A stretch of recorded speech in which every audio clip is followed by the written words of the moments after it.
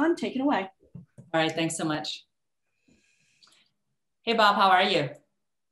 I'm good. I'm good. How are you? good. I just wanted to let you know that I'm doing the universal generics. So this actually goes out to everyone who can't be here for the junket mm-hmm. and they miss out on you. So if you could wrap my question into your answer, that'd be fantastic. Thank you. So um, I think I'm just such a huge fan. I think I could watch Peel an Orange and get excited. So let's start at the beginning and talk about how this story really came out of a personal experience and how nobody grew up from there. Yes, well, the movie Nobody does originate from a personal experience. Um, I live in a city, I live in Los Angeles, and we had a, a home break in at our house with a person who was uh, on different substances. And as a result, they were not really um, present. So it was a dangerous and scary uh, experience for my family. Uh, we kept things uh, to minimum amount of damage and danger, and the police came and took the person away. And the remains, though, was a feeling of frustration and, and, and anger. And I thought I could tap into that to launch a, an action character's journey of vengeance. Um, so I, it was to use those feelings and to play them out on the screen uh, in a safe uh, place, not in reality. But uh, it did come originate from a, a, a, true experience. But of course, the movie Nobody goes to mythic places with uh, bad guys representing the Russian mob and my character having a past as a very violent guy. Um, so it, it starts in a kind of very real feeling place, but it goes to a magical big conceptualized world, and uh, it's great fun.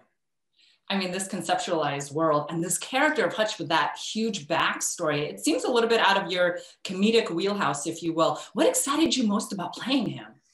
Well, one of the things I've learned, oh, what excited me about playing the uh, character of Hutch Mansell in Nobody is as an actor, I've discovered the joy of playing someone who's very different from who you are. It's really the reward of acting, I think, is to go somewhere different inside you and uh, and and see the world through other a different person's eyes. Uh, it's certainly true in the TV shows I've been in, Breaking Bad and Better Call Saul. I play a person who's not at all like me and not someone I would even be around, I think, if I had the choice. but it, seeing the world through their eyes is an experience that is a real um, excitement for an actor. And so in this movie, Nobody, I play Hutch Mansell, who's got this history as a fighting agent for, you could say, the DEA, the CIA, the FBI, Interpol, who knows? He just did some really violent stuff. That's not me at all. Um, and it's it's fun to take the fantasy of a movie scenario and be someone very, very different from who you really are. It's like a weird little vacation from being yourself. And then you get to come back to your nice, safe life. Well, this, I think that the character that you play, you ground so much in reality as well. Um, it's a character that everyone can relate to. Can you speak about that? Well, look, I do think the character in Nobody is relatable to a lot of people. And I, I even think of this great moment where I've got the gun out and I'm yelling, Give me the kitty cat bracelet. and I'm really mad. And I just picture every parent mm-hmm. In the back seat of their car trying to find the kitty cat bracelet or the thing that their child lost that means so much to their kid. And they're frustrated and they've got 30 things to do right now and they can't find that damn bracelet. And they're in their mind they're feeling the way hutch is with the gun out. Give me that goddamn kitty cat bracelet. So there's a lot of feelings in it that are blown up to mythic proportions in our movie but they're relatable you know um, the feeling of having you know kids but having your neighbor who's like a single guy who's got a really cool sports car and he's bragging about it to you and your son and your son kind of looks at him and thinks that guy's cool. My dad isn't cool. And you're the dad sitting there going yeah whatever, I'm not cool. I wish I had your car and you wish you could steal it and go on a joyride like Hutch does.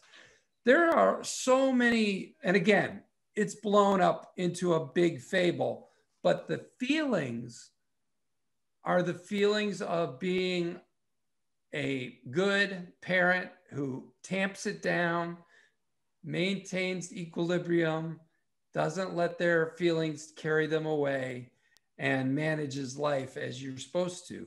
But in a movie, you get to just go off unhinged, off on a on a mythic quest. You know, that's what movies can be. So let's talk about preparing for this movie because I think you're probably going to go down in history for the two years of training that you did. So can you talk about that? And more importantly, are you still training? I trained for two years to play the character Hutch Mansell in Nobody. I wanted to do my own screen fighting. Uh, and I spent 25 years of my life writing comedy. Um, and I love writing comedy. I love being a part of that world, but you don't you don't work out a lot.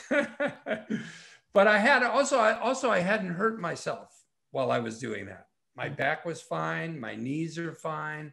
So I was in pretty good shape. I did cardio. So I thought I'll just train really hard. You know, I'll start from the ground up and I'll put in my 10,000 hours, which is what I did. I would go to the gym two or three times a week. I'd work out on the days I didn't go to the gym, but I would go to the stunt training gym and get professional training two or three days a week. And I did that for two years before we uh, began filming. Um, what was your other question? Oh, let me just go straight into talent working with the brilliance of Ilya and also bringing Christopher Lloyd into the fold because those are two really important points.